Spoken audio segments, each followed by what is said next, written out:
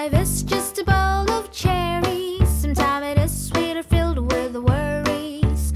Don't be afraid when things go wrong, just be strong.